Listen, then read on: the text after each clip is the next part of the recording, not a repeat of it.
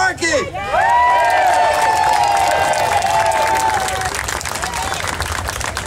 Well, we told them for the last 12 months that November was coming, right?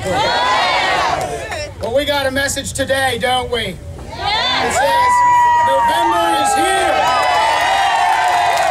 November is here. That message, that message of responsible spending and not wasting our children's inheritance. You know, I've, I've got a son being born next month. He already owes the federal government $40,000. That should never be the case. And one of those one of those messages we were able to send, we have a lot of new conservative faces joining the Virginia delegation in this new Congress. But one of them is no stranger to actually cutting the size of government because last year in the Virginia General Assembly, as Majority Leader Morgan Griffith cut $4 billion of state spending.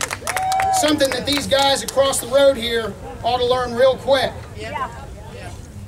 He also sent a message that if you vote against your district and you vote for job killing cap and trade legislation and you vote to kill those natural resources that we depend on in this country, that you're going to be replaced. Ladies and gentlemen, please welcome Morgan Griffith.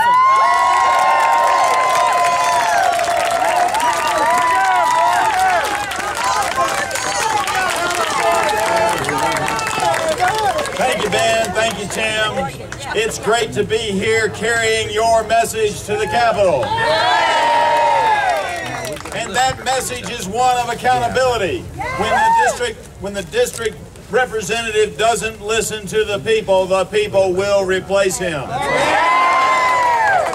And so we took your message that November was coming out there and we talked about Obama and Pelosi policies and we talked about how cap and trade would kill jobs and the people of the 9th District of Virginia sent a message to the Capitol and that is you are accountable. I have to tell you, we're going through orientation now, it's, it's very interesting, and it's also very awe-inspiring to be here and to know that I soon will take a seat in that building over there. And it's been a long time since I was in high school. But when I was in high school at Andrew Lewis High School in Salem, Virginia, there was a poster on the wall my senior year with a picture of that building and said underneath it a quote from Alexander Hamilton, Here, sir, the people govern.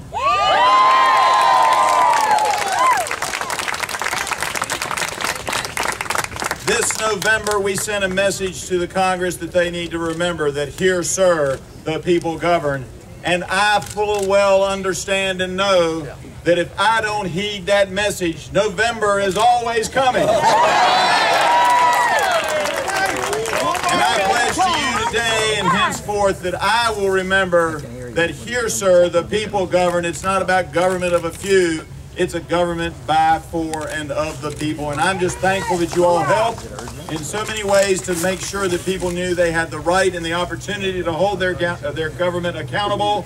And I wait uh, in hopes that uh, I will be uh, a person that you all will find uh, approval of, and when the accountability time comes in November, two years from now, you will say Morgan Griffith lived up to his word, his commitment to cut spending and to make sure that this government is doing what the people want.